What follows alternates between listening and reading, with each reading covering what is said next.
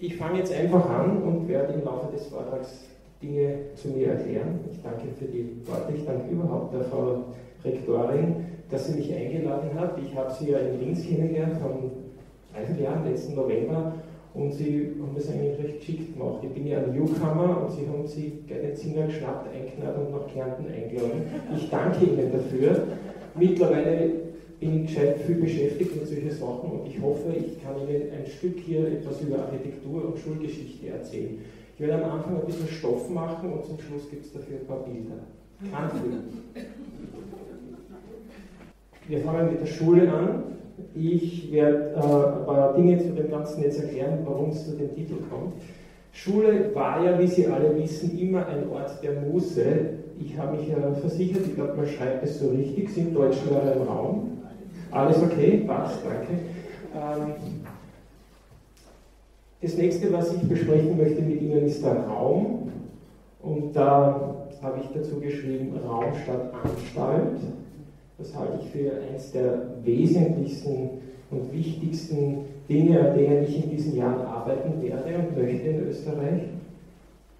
Und das dritte ist Kultur. Und zwar die Kultur als eine Frage des Umgangs, des Umgangs mit den Dingen wie mit den Menschen. Ich glaube, dass in dieser ganzen Sache, dass es, dass es eigentlich, ich sage es mal so, es gibt unter den Fachleuten nicht wirklich ein Erkenntnisdefizit. Es gibt nur in unserer Gesellschaft ein Handlungsdefizit. Und das Handlungsdefizit hängt eigentlich an den personalen Kompetenzen der handelnden Akteure. Und das habe ich hier mit diesen drei nicht wirklich lustigen äh, Gekritzeln dazu geschrieben. Ich glaube, dass in der Schule viel zu viel Druck und Stress herrscht. Ich sage das als nicht ausgebildeter Pädagoge.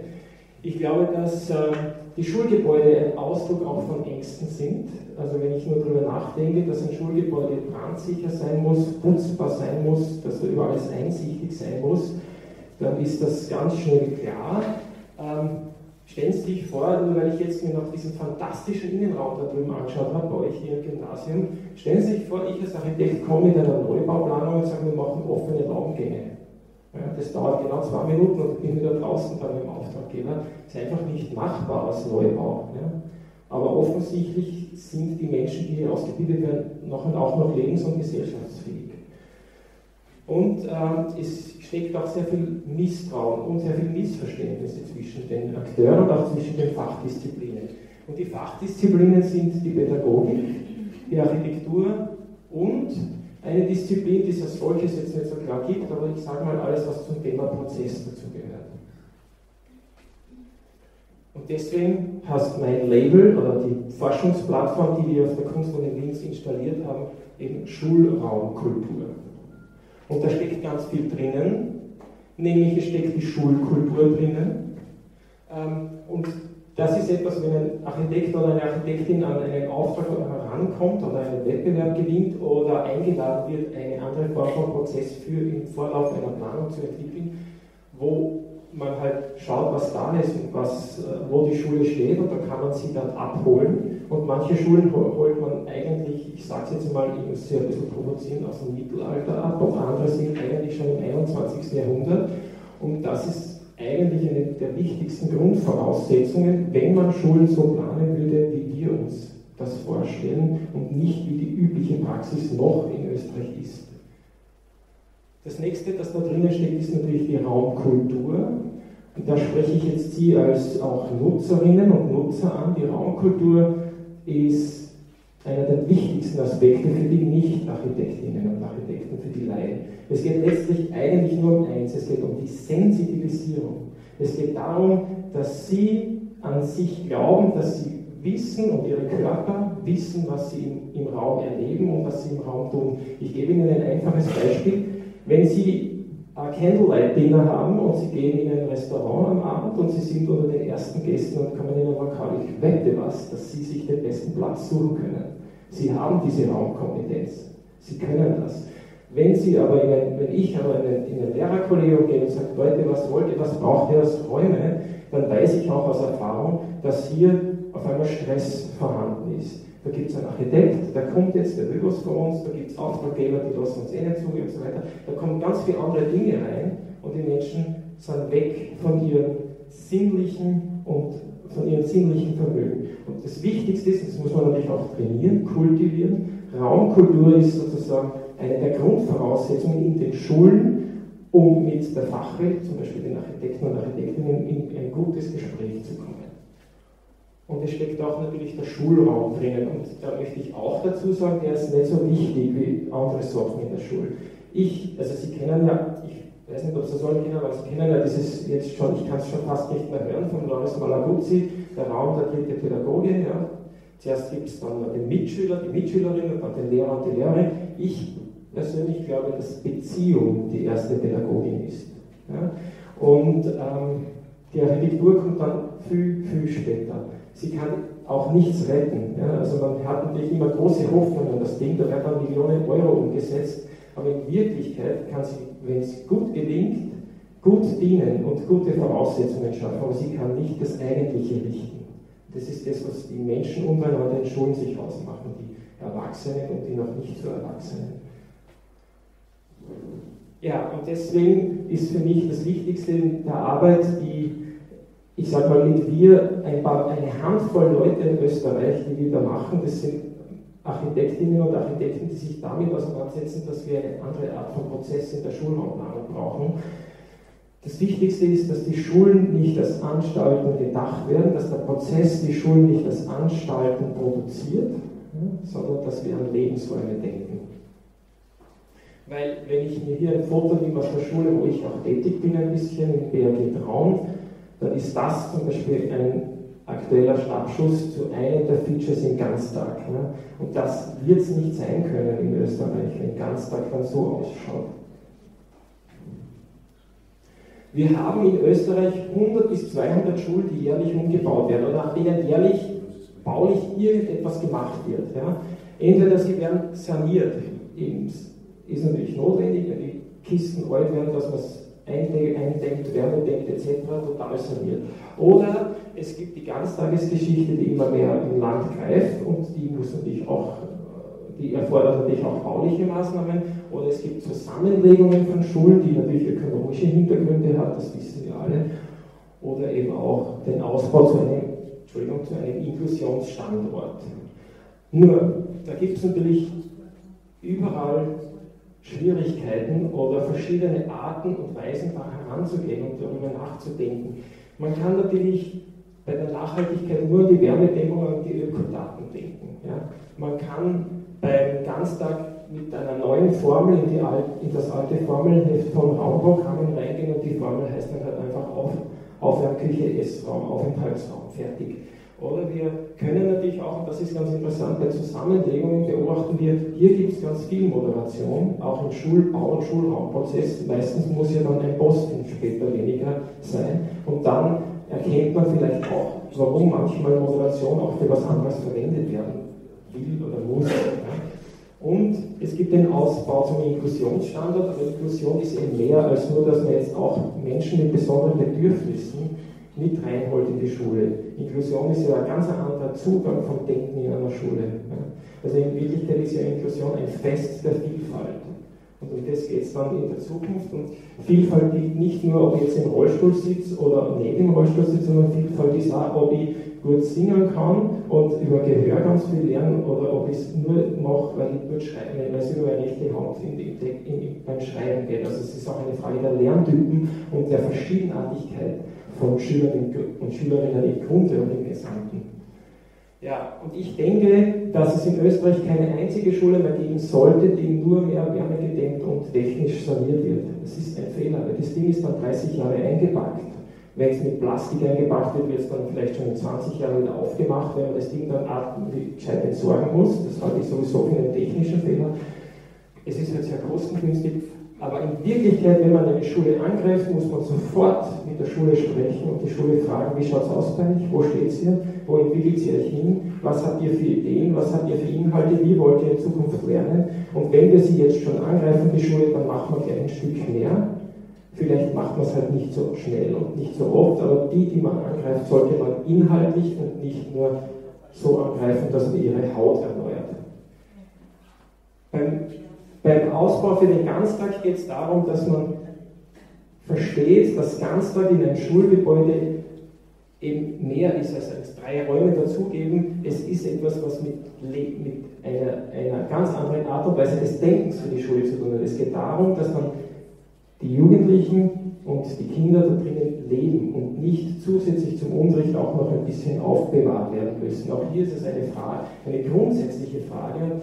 Wenn das nicht in unsere Köpfe hineingeht, und damit meine ich jetzt primär die Architektinnen und Architekten und die Schulbauverwaltungen und die Baudirektionen auch in den Landesregierungen und natürlich auch im Bund, wenn wir das nicht so denken, dann haben wir hier wieder Fehlinvestitionen, die im Prinzip volkswirtschaftlich unnachhaltig sind.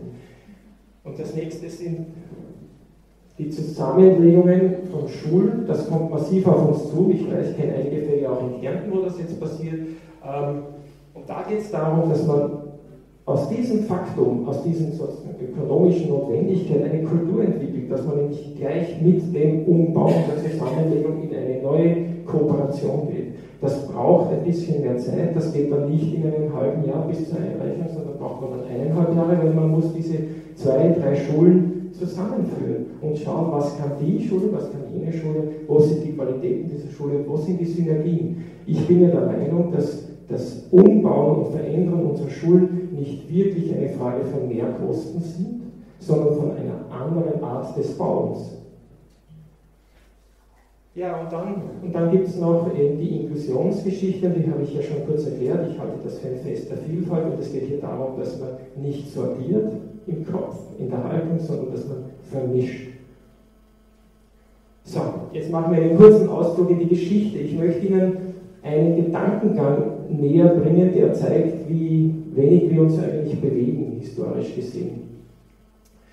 Ähm, ich gehe jetzt ungefähr 300 bis 150 Jahre zurück und im Prinzip die alteuropäische Schule, die, die Frühform von Schulen, das war eine Schule, die ja eine sehr einfache Angelegenheit war. Sehr oft war das ein Raum, sehr oft war das ein ein Lehrer mit einer Wohnung und einem Raum mit allen Kindern. Also der hat Inklusion nicht gekannt, das Wort aber einfach praktiziert. Ich, mache, ich muss jetzt natürlich dazu sagen, ich klammere jetzt viel aus. Wir reden jetzt nicht über die tragische Geschichte der schwarzen Pädagogik etc. Ich will hier nur einen Gedankengang über die Raumentwicklung herausschälen. Ja. Schlagen Sie mich nicht, wenn ich das jetzt sozusagen ausklammere, diese Aspekte. Es ist schon klar, dass sich was getan hat. Aber ich fange jetzt an mit dieser einen Skizze. Ähm, Sie haben für Sie links den einen Raum und Sie haben rechts das, was Sie alle kennen. Sie verstehen diese Zeichnung, das ist ein Grundriss, in der Mitte des langen Rechtecks ist der Gang, rechts und links die Klassen. Denken Sie sich die rechte Hälfte weg und Sie haben das Fick drin vor sich in seinem Grundriss Gasse, Gasse, Gasse, Gang, nur dass der Gang halt ein Freiluftgang ist. Das ist etwas, was wir bis Mitte, Ende des 19. Jahrhunderts geschafft haben in Europa, in unserer Welt, muss man so sagen, in Amerika und in Europa. Wir haben es äh, von einer, ich sage es jetzt mal so, und ich zitiere hier, oder ich beziehe mich hier auf einen äh, Schulbau- und Schulraumforscher aus den 60er Jahren, den Hermann Lange aus Deutschland, der ein sehr spannendes Buch geschrieben hat, das heißt Schulbau und Schulverfassung in, in der Vormoderne. Er spricht von einer Vormoderne, von einem Alteuropa. Das ist das Europa vor der Aufklärung, das Europa vor der Industrialisierung.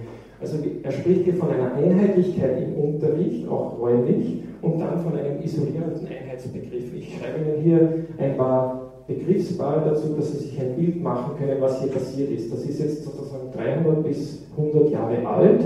Das ist das, das ist das Erbe, das wir von uns haben. Das ist auch das, was wir alle im Kopf haben.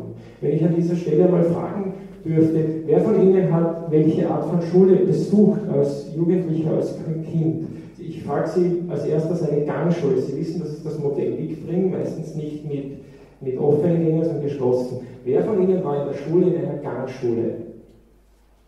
Sehen Sie, das ist die absolute Mehrheit. Mehr als zwei Drittel, 80, 90 Prozent üblicherweise.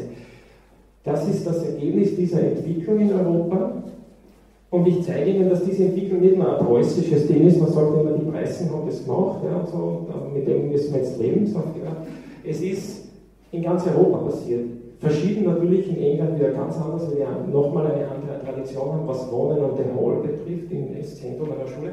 Aber hier ein Beispiel aus ähm, knapp um 1800 in Dänemark, ja, wo man ganz viele Schulen damals umgebaut hat. Sie sehen oben den, die Schule vor dem Umbau, wo Sie rechts Lehrer, äh, das heißt Rektor, Konrektor, Wohnung sehen und links die zwei Räume, wo gelernt wurde.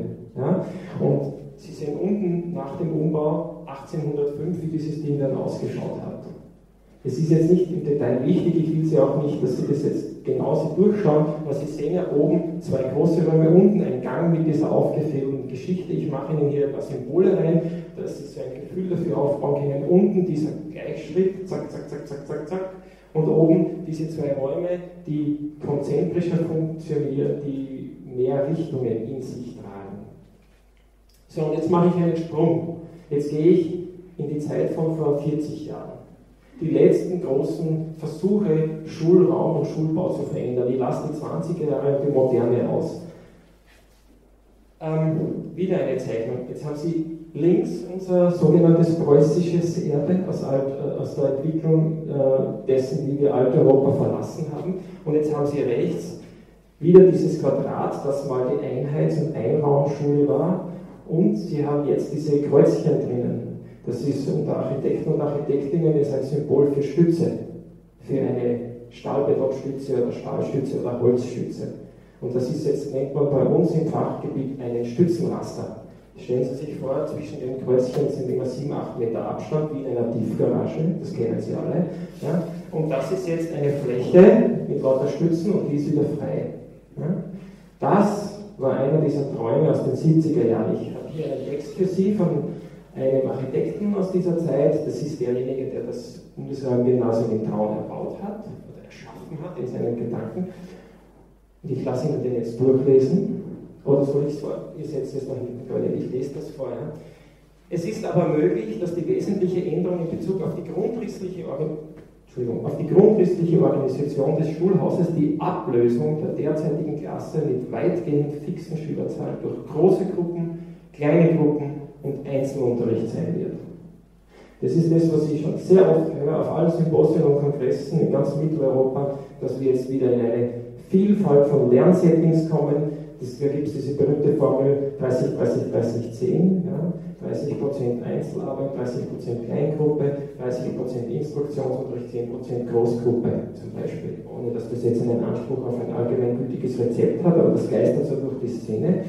Und Sie sehen, das ist überhaupt nicht neu. Wahrscheinlich, das hat auch nicht der Eisenmenger erfunden, das haben schon leider schon im 16. Jahrhundert gedacht, die ersten frühen Denker in der Pädagogik. Nur dieser Text, wenn ich das nicht dazu schreibe, den kann ich heute umgeschaut in der Präambel reinschreiben, das wird halt erst zeitgenössisch erlebt. Man müsste nur als Schüler, Schülerinnen machen. Also man müsste noch gendern und das Ding ist gegessen.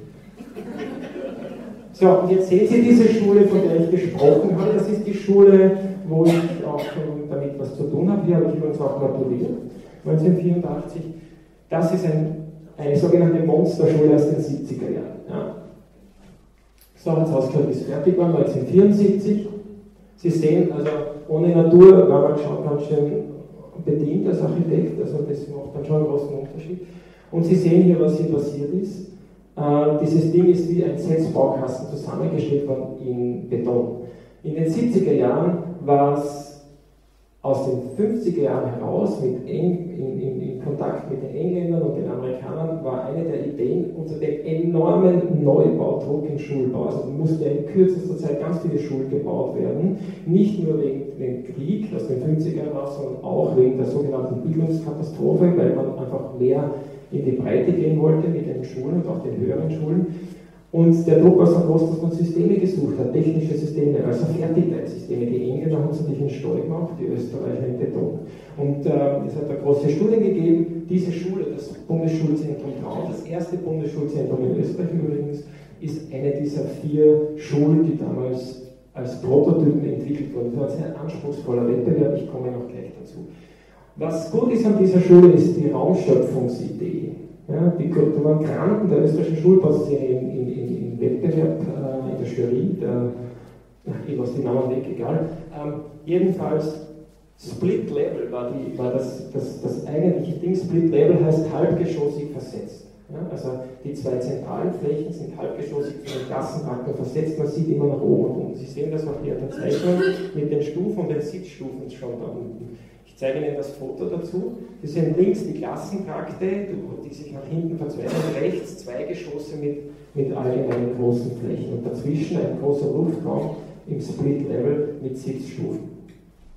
Das war der, die, die, Main Idea, das war sozusagen der, der, Winning Point im Wettbewerb damals. Sie sehen jetzt hier aus der großen Aula von unten nach, auf die Sitzstufen fotografiert. Diese große Aula hat ungefähr 20 mal 20 Meter, die Schule hat 1600 Schüler, die Aula gibt es mal zwei, es gibt enorm viele große Flächen. Heute wird es das Ding so nicht mehr bauen, wird keiner mehr zahlen, wird auch keiner mehr mit den Raumprogrammen durchgehen lassen. Ja. Das war auch natürlich eine üppige Zeit. Es ist ganz viel Fläche vorhanden hier. Ich zeige Ihnen jetzt ein Bild von heute. Das ist eine Ausstellung, die wir gemacht haben im Mai. Gerettete Schulraumgeschichten. Ähm, Sie sehen hier wieder die beiden Sitzstufen, die auf dieses Karree von 10 x 10, 10, x 10 Meter hinschauen. Ja? Diese Schule hat aufgrund dieser großen, großzügigen Raumflächen äh, äh, enormes Schulleben entwickelt. Also hier ist es auch ein Beispiel dafür, wie der Schulraum sehr wohl was begünstigen kann. Die haben ein Equipment, ich glaube, die könnten als Vorband von den Rolling Stones auftreten und die sind auch technisch total fit. Diese Schüler, die hier in der Technik arbeiten, sind auch die, die das Video gemacht haben. Ja? Die könnten Sie mal auch einladen, um hier zu unterrichten, würde ich sagen. Die sind echt fit, die Jungs und die Mädels. Und Sie sehen hier die obere Aula, das ist die sogenannte Teppichaula, die ist einfach leer. Ja? Und jetzt, wo der Ganztag schon langsam beginnt, zweite Klasse, dritte Klasse, das sind je fünf, sechs Klassen, also zehn Klassen sind Ganztag, das sind ungefähr 250 Schüler von 800, fängt das Ding an zu wachsen, ja, diese Aula. Ja, und es gibt dann auch Traditionen, wie zum Beispiel jedes Jahr ein großes Picknick von den Maturantinnen und Maturanten, die einfach da einen ganzen Tag lang oben sich ausbreiten und Lehrer bewirken und mit sie einladen, mit ihnen ein bisschen an Sekt zu trinken. Im Schulbetrieb. Hoffentlich habe ich jetzt nichts Falsches gesagt. Ähm, jetzt nochmal ein bisschen was Anstrengendes für Sie. Ja, ähm, das sind, stressen Sie noch nicht, das sind jetzt Pläne von Wettbewerb. Das ist von diese Architekten, das war ein Team, ähm, abgegeben als Zeichnung. Sie sehen hier rechts eine größere Zeichnung und rundherum vier kleine. Die vier kleinen Zeichnungen zeigen, was mit diesem großen Ding als Varianten in Szenarios passieren kann. Es sind Details nicht wichtig. Das Spannende ist, die haben sich das alles durchgedacht. Wenn man sich das jetzt genauer durchlässt, muss man einfach schmunzeln, was 40 Jahre später alles erzählt wird. Ja. Ähm, es gibt den Nutzungszustand 1 bis 4 und der Nutzungszustand 4, den werde ich Ihnen jetzt genauer erklären. Auch die Legende ist spannend, Sie sehen hier alles, Großgruppe, Kleingruppe, Einzelarbeitsplätze etc. Alles ist da, 1970 erdacht, 1974 nicht gebaut. Die Nutzungsvariante 1 links oben, die erstickt und erstarrt in Gipskartonwänden, die wurde gebaut. Sie erinnern sich an dieses zu viel Angst, ja, das ich da reingeschrieben habe ganz am Anfang. So, das ist jetzt dieser Nutzungszustand 4, die jahrgangsübergreifende spontane Binnendifferenzierung. Das haben Sie Architekten ausgedrückt damals. Ähm, äh, Team Teaching. Und Sie sehen die Symbolik, ja, links oben diese, diese schaut aus wie so Waschmaschinenknöpfchen, das wäre jetzt eine, ein, ein, ein Hörsaal für 60, 70 Schüler für eine Instruktion. Also sieht man, es gibt einen neuen Stoff, die 8. Klassen setzen sich alle zusammen, es gibt dann Input von 40 Minuten und die hören sich was an. Was weiß ich, amerikanischer Bürgerkrieg oder sonst was. Dann gehen jetzt wieder raus und arbeiten in, irgend, in dieser Fläche irgendwo in irgendwelchen Setting, je nachdem, wie sich die Schule aufstellt. Das ist alles möglich in dieser Schule. Die hat nur ein paar Stützen. Sie erinnern sich an das Bild mit diesen Kreuzchen und den Stützenraster könnte man alles machen. Wenn man die ganzen Gipskartonplatten mit der Kettensäge in einem Monat raussägt aus dieser Schule, ist dieser Zustand herstellbar. Ja? Und so ist das Detail und vielleicht erkennen Sie jetzt schon ein bisschen die Möbel mit diesen oben, links oben der große Hörsaal, rechts quasi ein zentriertes Arrangement mit einer Schiebewand in der Mitte. Sie sehen lauter Tischchen, Einzelarbeitsplätze etc. Und hier ein 1 zu 50 Modell, das ist so groß wie dieser Tisch hier heraus. Das ist leider verschollen, sehr schade. Also das sind lauter Originale, die ich mir beim Architekten vor kurzem interviewt in Wien ergattern konnte. Die haben das liebevollst gebaut, die ganzen Szenarios, dass sich das die Pädagoginnen auch vorstellen können. Die Leute, die damals anfangen haben Lehrer, sind jetzt ungefähr alle in der Pension, also kippen gerade rein in die Pension. Und wenn man mit ihnen redet, sagen sie alle, ne, uns hat keiner was erzählt. Also das war war, wenn, wenn wer dabei war, war der Direktor dabei, die haben kein, nichts davon erfahren, nichts davon gewusst und konnten ja gar nicht grundsätzlichen Ideen, die da drinnen stecken, nämlich zum Beispiel auch das Team-Teaching, das sieht man da jetzt nicht, das sind dann ein paar so externe, also dezentrale Lehrerstützpunkte, Lehrerinnenstützpunkte gebaut worden, die sind einfach als Sammlungen missbraucht worden, weil keiner gewusst hat, dass das eigentlich für was anderes gedacht war. Also Lack of Communication, Misunderstanding im Prozess und es ist nichts passiert. Gipskarton war dann sozusagen die Lösung. Ähm, und was hier passiert, Sie erinnern sich an das Bildchen, ich mache jetzt eine Wiederholung, ja, kurz vom Stoff. Äh, wir gehen jetzt nochmal gedanklich von der Vormoderne in die Moderne. Ja. Wir marschieren jetzt zurück. Äh, Entschuldigung, jetzt habe ich einen Fehler gemacht. Das ist das, was ich Ihnen vorher zeigte. Habe gesagt, mit von Wiederholung. Das Vormoderne zu Moderne, vom alten europäischen einen Raum in dieses Addieren von lauter gleichen Räumen. Ja? Also das hier, das habe ich Ihnen als erstes gezeigt. Die der Weg zurück in den 70er Jahren war gewollt, hat nicht funktioniert. Ja? Also das ist jetzt genau die Umkehrung dieser Situation. Und man kann auch die Begriffe umkehren. Man muss nur eigentlich einen austauschen, damit man es nicht merkt. Ja? Also dass das nicht aus der Jetztzeit ist. Und das habe ich Ihnen hier rot markiert. Das ist sozusagen die alteuropäische Einraumschule, muss man jetzt mit, ich habe es jetzt für Architekten geschrieben, verzeihen Sie Architektinnen auch, die nachmoderne Lernlandschaft. Also mit Lernlandschaft können Sie wahrscheinlich alle was anfangen. Also das ist das Einzige, was man austauschen muss und dann ist das Ding wieder retour. Hm?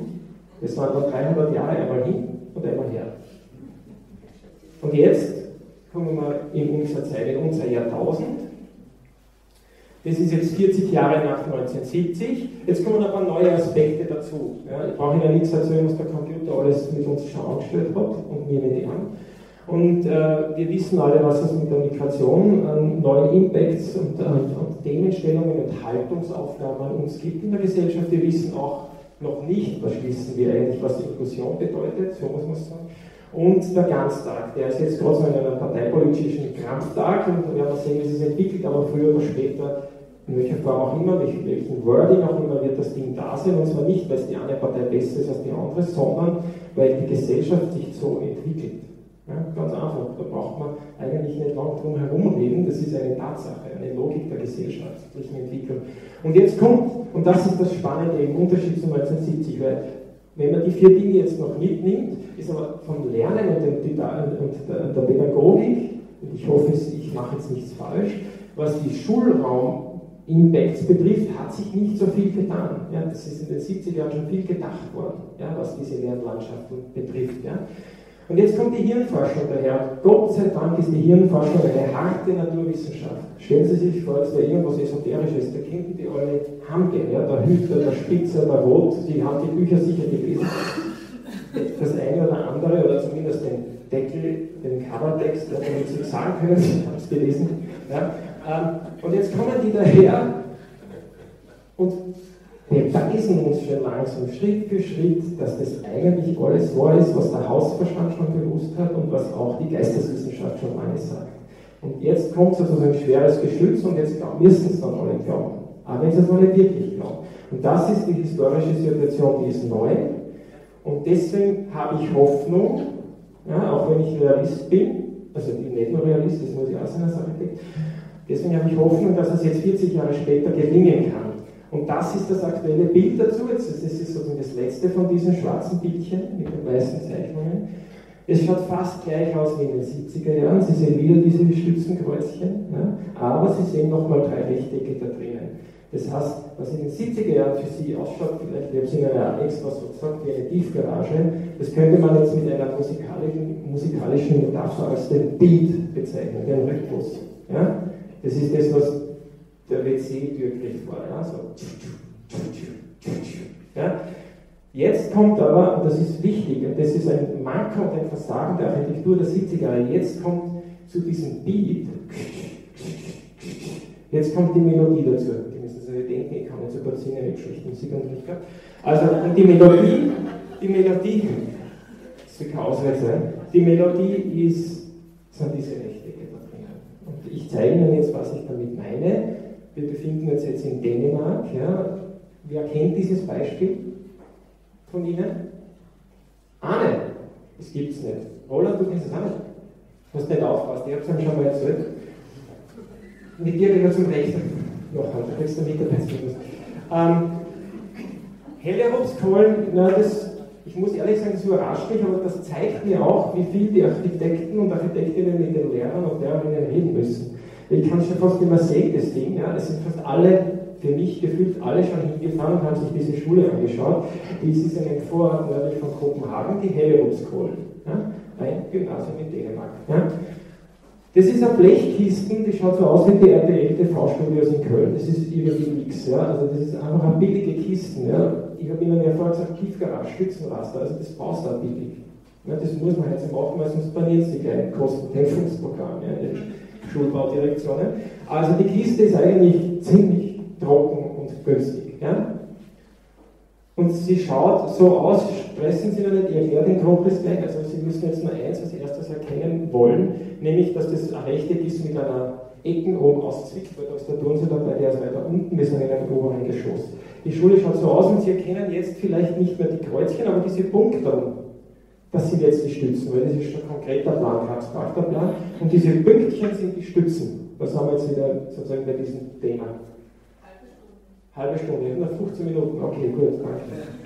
Oh ja, oh ja, aber es geht sich aus. So, und jetzt zeichne ich Ihnen hellblau ein das Herz dieser Schule, das ist ein Loch in der Decke. Ja, also das ist der Luftraum. Ich, Sie sehen gleich ein Foto dazu. Und das, was da drinnen ist, diese Kreuze, diese Schrägen des Vergessens, das Symbol für Loch in der Decke. Und dann, dann mittendrin sind dann diese fünf Striche, das ist eine Stiege. So, so schaut das Ding aus, wenn man ein Foto sieht. Ja, das ist das Herz. Ja, das ist, was hier in diesem der Innenhof ist, mit diesen fantastischen Arkaden. Ja. Übrigens ist es gut, wenn man auch in der Schulzeit Biertische rausstellen könnte. Ich habe gehört, die sind nur im Sommer draußen, das wäre total krass, dass der beliebt ist. Das ist ein sensationeller Raum, das muss man genießen. Entschuldigung, ich, ich muss das sagen, ich bin Architekt, ich halte es nicht aus, wenn es nicht so geht. Ich meine, das Erste, was ich mache als Schüler der großen Pause, wenn es nicht regnet, ich setze mich da aussehen. Das ist ja logisch, oder? Also, das ist das Herz dieser Schule, ja. Das ist der Innenhof des Zisterzienserklosters 2000 plus in Dänemark, ja, wenn Sie so wollen. Hier gerade bei einer Schulveranstaltung, dieser Kommunikationsraum, dieser Wir-Raum, dieser Identifikationsraum für den gesamten Schulkörper ist natürlich auch ein Funktionsraum, der kann ja aus, der ist für Veranstaltungen der Veranstaltungssaal. Ja? Und Sie sehen rechts oben, überall, wenn man so reinschaut, da gibt es nirgends wirklich Wände. Da gibt es nur ab und zu so einen Raum, wo man wieder rundherum gehen kann. Und das ist jetzt das nächste Bild. Ich habe Ihnen hier grau markiert in diesem Grundriss, was die Räume sind, die geschlossen sind. Fluchtstiegen, Toiletten, ein paar Lagerräume und auch ein paar Teamräume für die Lehrerinnen und Lehrer und ein paar Rückzugsräume. Also ein paar, ein paar Funktionen sind explizit weg, technischer Natur und Ruhenatur, sage ich mal. Und der Rest, was jetzt weiß ist, mit den Punkten, das ist jetzt die Fläche, auf der man herumlaufen kann. Und auch Frau herumlaufen kann. So, jetzt kommt dort rein die sechseckigen Dinger, die habe ich jetzt selber reinfantaziert, weil ich habe keinen sauberen Plan gefunden, das stimmt nicht exakt. Ich wollte sie mit den komplexen Plänen nicht belasten, das sehen es dann mehr. Das sind jetzt so Möbel, die sind ungefähr drei Meter im Durchmesser, sechseckig, zweieinhalb Meter hoch. Das sind sozusagen sowas wie Kabinen und Keulen die für Kleingruppenaktionen im Raum herumstehen, wo man reingehen kann und kurze Session hat zwischen 12 und 18 Schülerinnen und Schülern und die gleichzeitig als Boxen im Raum den Raum auch zonieren, dass sozusagen Zonen, Nischen, nicht so einsichtige Stellen und so weiter entstehen. So, Sie sehen jetzt ein, und Sie sehen auch, wie billig das gemacht ist. Sicher ausgenudelt und ausgereizt, war sicher Schlägerei zum Schluss, wie jedes Mal, wenn man Schule baut. Ja. Aber das ist nicht wichtig. Nochmal es um die Idee. Ja.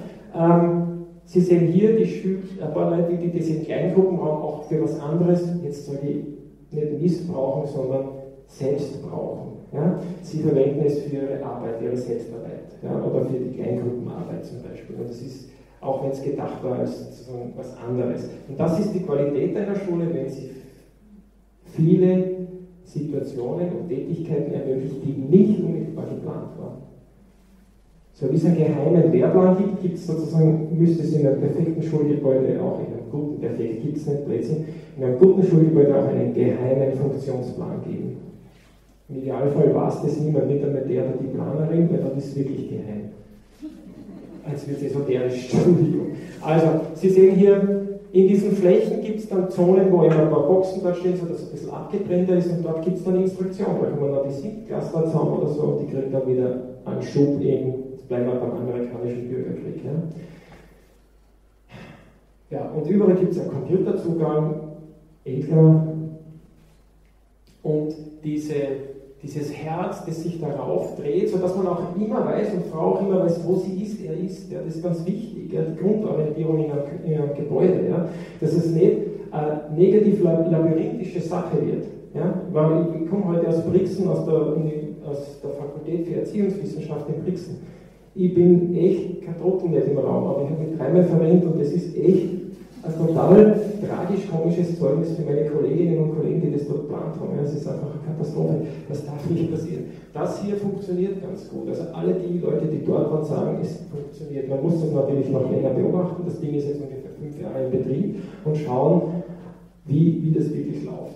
Und das funktioniert nicht als Raum an sich, sondern mit einer gewissen Schulkultur, die diesem Raum wirklich sozusagen gewachsen ist. Das ist das als der ersten Teil in diesem Wort Schulraumkultur. Ja, also, das ist jetzt dieses Dänemark 2000 Plus. Ja, und da habe ich unten rot dazu geschrieben, das war jetzt Neubau. Ja, das ist aber nicht im Gegensatz zu den 70er Jahren unser Hauptprogramm, das wir haben. Wir sind eigentlich im Umbau.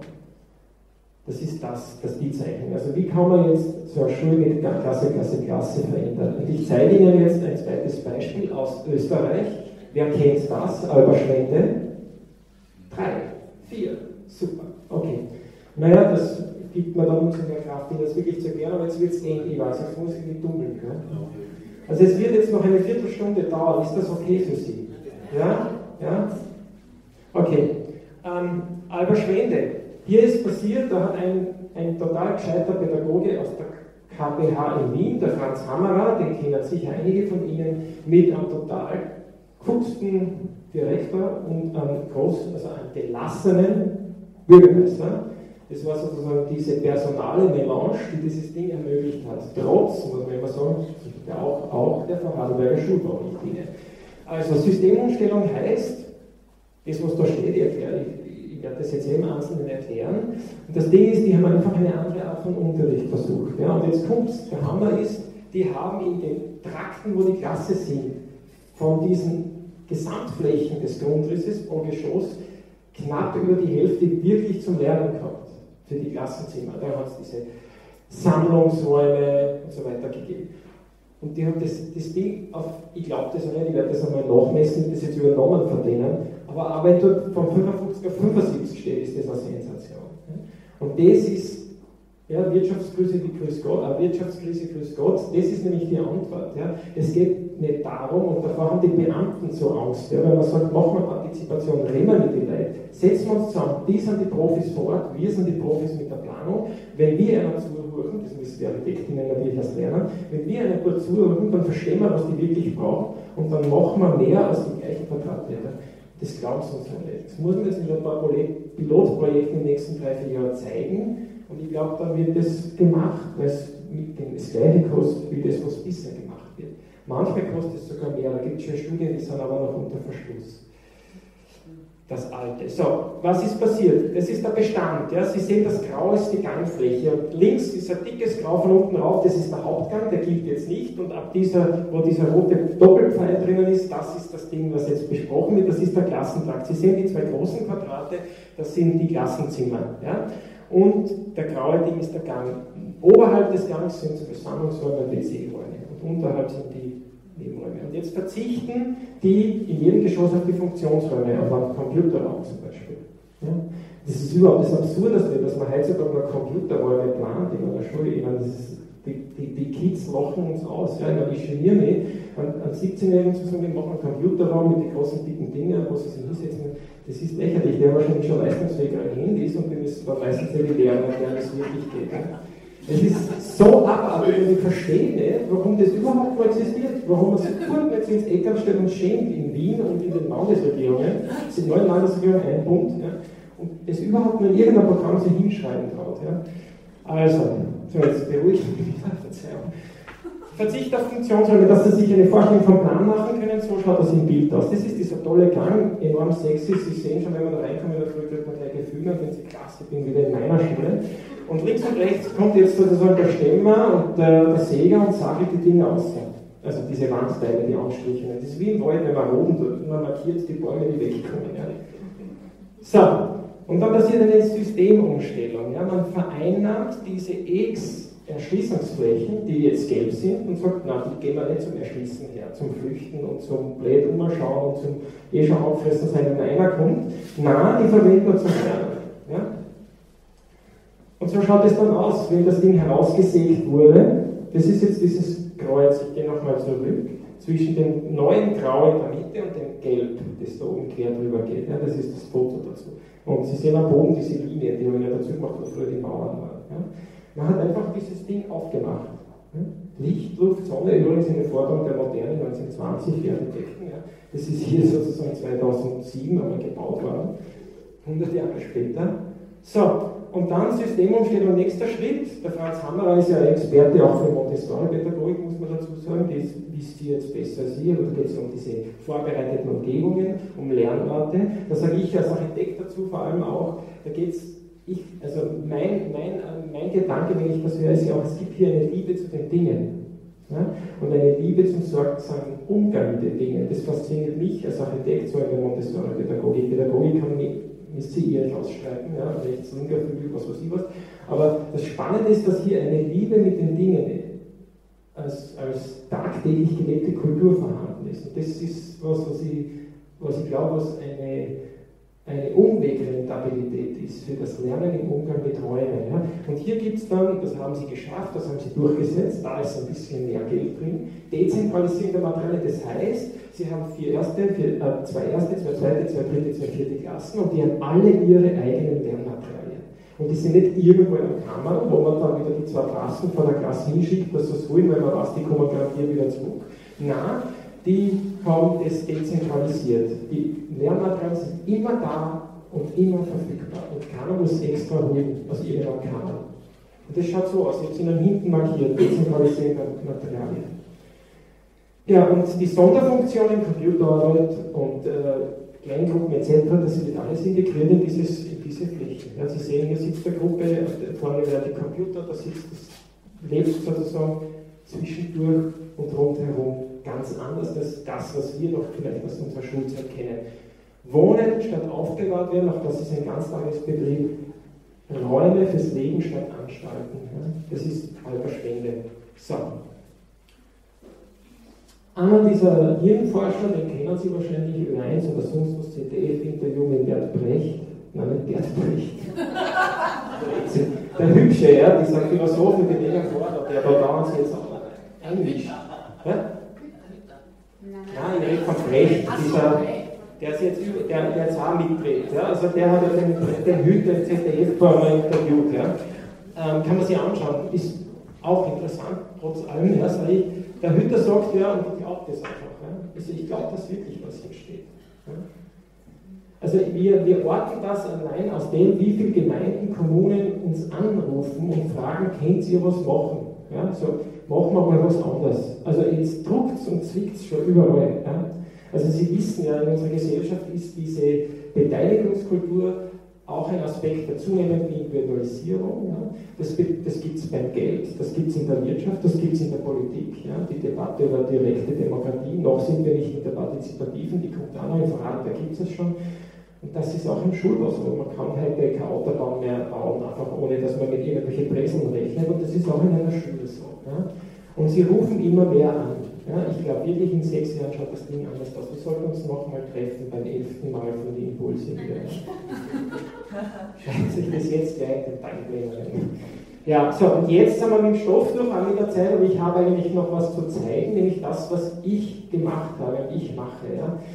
Ich habe Ihnen ja vorher das Video gezeigt, ich, ich unterrichte nicht nur Architektur an der Kunstuni, äh, sondern ich unterrichte ja nebenbei zwei Stunden in der Woche in einem Gymnasium, die Siebtklasser, die 17-Jährigen im musischen Schulzweig, da gibt es Architektur am Lehrplan, ja, und da machen wir mir etwas. Und das Sensationelle an dem Video war, ich habe mit denen, ich habe eigentlich fast nichts gemacht. Ich habe nur mit einer so lange geredet, bis die eine Idee gehabt haben, dass man, was man mit einer Toilette noch machen kann, weil der, der, der Hassort in den meisten Schulen ist ja die Toilette, bei den Mädels noch mehr als bei den Jungs. Ja. Und wir haben das ein Jahr lang besprochen, ich habe total viel gelernt von denen. Ja. Also die Jungs haben vor den Mädchen erzählt, war eine gute Klasse, muss man dazu sagen. Ja. Also die Klasse jetzt leicht gehabt, das war ein Spiel. Ja. Ähm, Jungs haben bei den Mädels geredet, wie sie sich eigentlich stressen mit den Pissoirs und die Mädels haben die Jungs erzählt, dass ewig zu wenig Klos haben. Es ist, das ist wieder so eine Verrücktheit. Jetzt wissen wir seit wahnsinnig vielen Jahrzehnten, wie viele Frauen permanent aufs Klo müssen ja, und wie viele Frauen permanent in Schlange stehen. Ja. Und das in Schulen auch so. Und die da immer mehr Schalen, ja, weil die Missstände bei den Jungs, bei den Männern als bei den Frauen. Ich verstehe nicht, dass sie da noch keine einzige Frauenbewegung mit irgendwas aufgetreten hat. Das ist abartig. Das ist abartig. Das ist eine totale Fehlfunktion. Ja? Das ist, brauche ich nicht einmal in der Wissenschaft untersuchen. Das brauche ich nur zwei Stunden irgendwann so, das müssen wir ändern, weil das ist ein Blödsinn. Fertig. Ich verstehe es nicht. Ich verstehe es wirklich nicht. Ja? So, ich bin wieder aufgeregt, das dauert noch länger, Entschuldigung. So, und jetzt komme ich zu dem, was wir machen. Ja? Ich bin ja nicht nur auf der Uni tätig als Lehrer und in einer Schule als Systemaußenstehender, der es ein bisschen leichter hat, ja? sozusagen als externer Kasperl, ja? sondern ich arbeite auch und wenn ich arbeite, Schulen mit, mit, Lehr mit Schulen, Schulraum entwickle und auch jetzt dann demnächst hoffentlich baue, also das wird passieren, das wissen wir mittlerweile schon, dann habe ich eine AG, eine Arbeitsgemeinschaft mit den Non-Konform-Architekten, in Wien. Einer von denen sitzt da hinten oder steht da hinten, ist er Kärnten aus Moosburg. Ich weiß nicht, vielleicht sagt Ihnen der Bildungscampus Moosburg was, da sind wir dran. Und die arbeiten mit uns, was die Raumentwicklung betrifft, mit der Methodik der Vorortideenwerkstatt. Das ist ein, ein Prinzip, das die Nonconform entwickelt haben und dies mit mir gemeinsam für Schulen adaptieren, adaptiert haben und das wir mit jedem Mal weiter adaptieren, weil die ja ganz viel lernen, wenn wir das machen. So, ich zeige Ihnen jetzt ein paar Bilder, wie das läuft. Ich zeige es Ihnen aus dem Bundesgymnasium Traum, wo ich arbeite, diese Monsterschule aus den 70er Jahren. Hier ist es tatsächlich gelungen, über Geld vom Ministerium und dem Landesschulrat eine Vorort-Ideenwerkstatt zu machen. In drei Tagen ist alles anders. Was haben wir gemacht? Wir wickeln das Ding zuerst ein. Das schaut so aus, dass die Kinder das Ding einwickeln mit uns. Ja? Unter Aufsicht des Schulwars angelegt wurde und ich weiß nicht was, aber es ist immer nur keine Angst, es ist auch kein Kind, wo runtergefallen, um es dann zu entwickeln.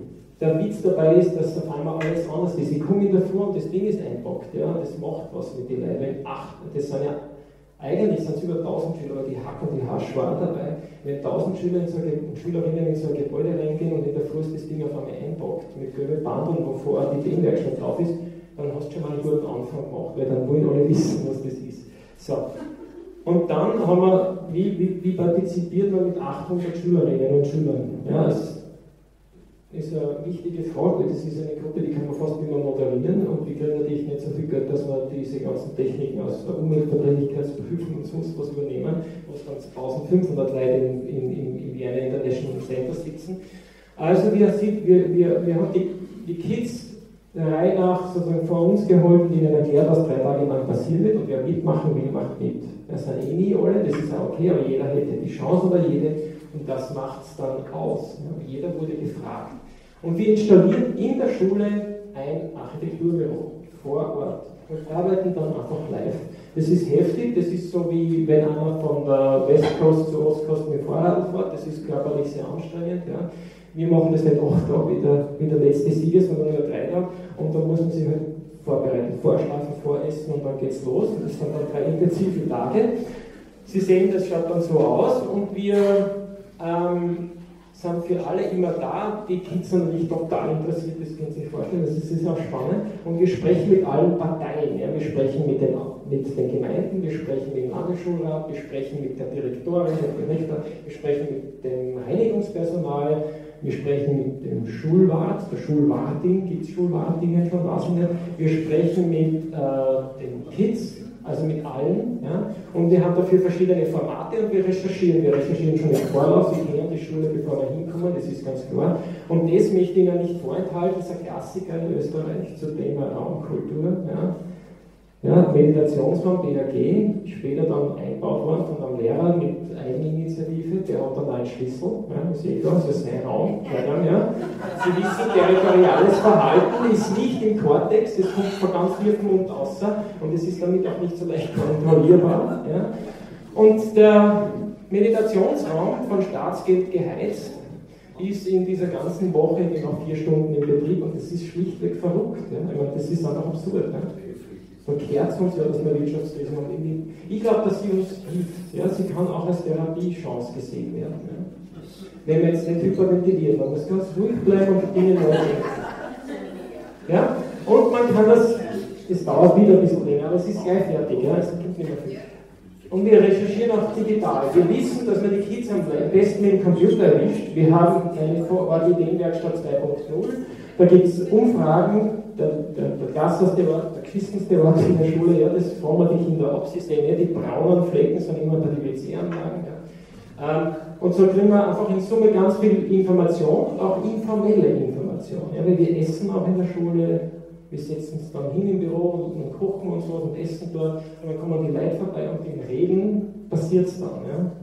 Es passiert nicht im offiziellen Gespräch, es passiert im, Sie kennen das aus Symposien und Kongressen. Ja. Sie werden wahrscheinlich an diesen Tagen mindestens in den Pausen genauso viel lernen wie in den offiziellen Unterrichtseinheiten. So, und die kommen und dann gibt es eine digitale Box, wo soll ich was einblenden können. Und einen von diesen Zetteln will ich Ihnen auch zeigen. Also der ist schon sensationell, wenn der Schüler schreibt, ich brauche einen Raum zum Lernen. Ja. Jetzt kann man das, das ist jetzt natürlich auch provokant, ja, weil als Architekt sage ich dazu, du musst lernen zu verstehen, was hinter dieser jetzt formulierten Bedürftigkeit steckt. Ja. Und das ist für uns das Interessante. Die Menschen wissen ja auch nicht genau, wie sie das sagen sollen, was sie brauchen wollen. Das heißt, müssen sie spüren lernen wieder. Ja. Wir sind ja super desensibilisiert alle zusammen. Da machen wir nichts vor. Und wenn man dann ein Gefühl für sich selbst hat, dass man weiß, was man will, ja, das dann wirklich am Punkt zu formulieren, ist nicht leicht. Und das ist auch für die Architekten wichtig und die Architektinnen zu wissen. Das heißt, wir müssen lernen, hinter dem formulierten Bedürfnis die Primärbedürfnisse zu erkennen. Das ist die eigentliche Arbeit der Architektur, zu erkennen, was hinter solchen Sätzen steckt. So, ja, und dann gibt es Abschlussveranstaltungen, das organisieren dann die Kids, die gestalten auch die Räume. Das ist ja auch immer ein Akt der Baukulturvermittlung und des Unterrichts eigentlich, des Lernens, nicht Unterrichts, des Lernens. Ja, und zum Schluss gibt es, wie hier im Traum, ja eine, eine vorgeschaltete Sache für einen Wettbewerb, einen Architekturwettbewerb in Szenarios, Stimmungsbilder, dass man so ein Gefühl aufbaut, was könnten sich die Schülerinnen, Schüler und Lehrerinnen vorstellen. Horrorvision für die Beamten, stellt sich die Schule stimmt ab, was sie will. Wunschkonzert. Wir wissen eh, es darf gleich viel kosten. Man braucht keine Angst, es geht sich ja aus, es wird sich immer ausgehen. Ja? So, und das ist der Wettbewerbsergebnis, das jetzt äh, demnächst sozusagen den Startschuss kriegt, weil momentan andere Impacts reinkommen sind.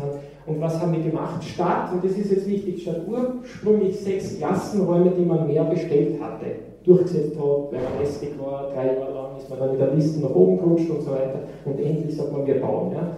Irrsinnig anstrengend für alle. Ja? Diese sechs Klassen sind schon da, die haben wir nicht gebaut, ja, weil die sind, wenn man die Musikräume rausnimmt und das rausnimmt, was da drinnen steht und ihr es nicht nervt, die anderen, ja, dann haben wir alle Klassen. Also haben wir zu dieser Schule, die extrem unter Akustik leidet, wie wahrscheinlich 95% aller Schulen. Ich bin allerdings mit einer AHS-Lehrerin verheiratet und die regen mir überhaupt nicht mehr auf. Ich verstehe mittlerweile alles. Ja. Wenn ich daheim glaube, ich kann Radio hören, habe ich geschnitten, ja. das kann man vergessen.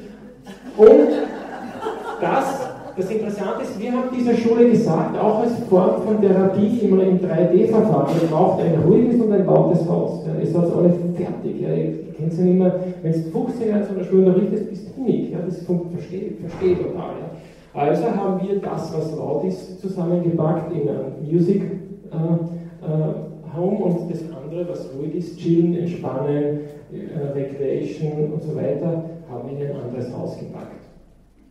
So, das letzte jetzt, ein letztes, die Impulsschule Steyr, ein zweites Projekt. Ich zeige Ihnen nicht Moosburg, weil Moosburg wird jetzt stattfinden und in sechs Jahren, wenn wir dann wieder zusammen sind, werden wir Ihnen eine sensationelle Geschichte berichten. Ja. Ähm, ich zeige Ihnen noch ein Projekt von einer ganz anderen Schule. 70er Jahre, 1600 Schüler, riesiges AHS-Geschichte war das. Das hier ist jetzt eine Privatschule, evangelische Trägerschaft total viel Herzblut von, weiß ich nicht, 10, 15 engagierte Leute. Ja. Momentan 50 Schülerinnen und Schüler, in der Ausbaustufe 75 Schüler, drei Gruppen, jahrgangsübergreifend, Montessori basiert, themenzentriert, keine 13 Fächer, sondern sechs Lebensbereiche etc. Also fundamental anderes pädagogisches Konzept. Und völlig eine andere Welt, wenn man da reingeht. Die meisten von uns, die nicht Pädagoginnen kennen das nicht. Wenn sie so Schulen gehst, denkst du, was, ist eine Schule? Das kannst du gar nicht vorstellen. So, und dort sind wir auch diejenigen, die mit denen diese Räume entwickeln. Und das, das Witzige ist, die haben diese Kirchen aus den 60er Jahren in Steyr neben dem BMW-Werk gekauft und unterrichten von, von 2011 Schule angefangen haben. Sie haben ein paar Holzbrillen eingenommen und ein paar Regale von Ikea und fangen jetzt einfach an. Ja, ein totaler Zustand natürlich, aber es geht. Ja. Und das funktioniert dann so, das sind die Kleinen, also die 6- bis 9-Jährigen, die dort gerade eine Selbstlernphase haben, also wie heißt es, eigenverantwortliches Arbeiten, EVA-Stunde oder EVA-Stunden, das sind ja nicht so abgehackte 55 Minuten, sondern immer gleich gescheite Zeitpakete gut rhythmisiert. Ganztag und Gesamtschule ist sowieso klar bei denen. Die haben wir uns aufgerissen, diese Kundschaft, als äh, partizipatives Architekturplanungsbüro am Archiv der Zukunft-Kongress am Bodensee. Ja. Und ähm, dort haben wir mit ihnen das erste Mal gearbeitet, völlig verzweifelt, was wollen wir tun, wir wissen nicht, wie wir nächstes Jahr mit den nächsten zehn Schüler und Schülerinnen umgehen. Dann haben wir uns gefunden, ich habe inzwischen mit meinen Studierenden auf der Kunstuni ein Entwurfsprogramm damit gemacht, habe acht Varianten dazu entwickelt und wir haben dann mit denen ein Konzept in zwei, drei Meetings, Workshops, das ist ja ganz leicht mit 15 Leuten zu arbeiten, die alle wollen, ist eh klar, ein Konzept entwickelt und Exkursionen gemacht, ganz was Wichtigste, Anschauung ist das Entscheidende für die Laien und haben dann mit denen live gearbeitet. Da sehen Sie mich mit einem Architekten von Nonconform A Kärnten aus Fresach, der Peter Nageler. Ähm, und das Ergebnis, das wir gemeinsam entwickelt haben, ist eine Vorstellung, wie diese Tätigkeiten und Qualitäten, die man von Räumen braucht, so ordnet, dass alles ganz gut funktioniert. Weil alles geht nie, das weiß man, es gibt immer Widersprüche, das sind keine mathematischen Gleichungen, die sie ausgehen. Und das ist das Ergebnis, das man gemeinsam erarbeitet hat. Daraufhin gibt es, und das zweite Ergebnis, das wir hatten, ist, dass wir mit Welten gearbeitet haben, als Vorstellungsbilder. Wir haben gesagt, wir bauen nicht Klassen oder äh, die und die Räume, die man so kennt aus dem Raumprogramm, sondern wir machen eine Welt, ein, ein, eine Welt der Werkstatt, eine Welt des Ateliers, eine Welt der Labor, eine Welt der Kulinarik, und so weiter und so fort. Also wir haben mit atmosphärischen Begriffen gearbeitet und das Ding wird dann vielleicht mal so ausschauen, eine atmende Schule, wie ich es zu behaupten wage, weil es enorm viele Freiflächen hat, Terrassen, Balkone und so, die wie so Fühler, so atmende Fühler in diesen Garten hinauskriechen. Und ich erspare Ihnen jetzt diese Grundrisse. Sie sind grundsätzlich gezeichnet von einer Raumvielfalt. Der Witz dabei ist, dass wir sagen, nieder, hoch, alte, neue Teile, weit, eng, sitzen, gehen, liegen, stehen, alles ist möglich. Was uns wichtig ist, dass es hier eine enorme Vielfalt im Angebot an Qualitäten und Räumlichkeiten gibt, die die Leute haben. Sie sehen hier oben diese drei Heimaten der Gruppen mit den dezentralen Lehrern. Das sehen Sie nicht, was rede ich. Ich lasse das jetzt, jetzt ist die Aufmerksamkeit immer da. So schaut es vielleicht mal aus Ihnen drinnen. Und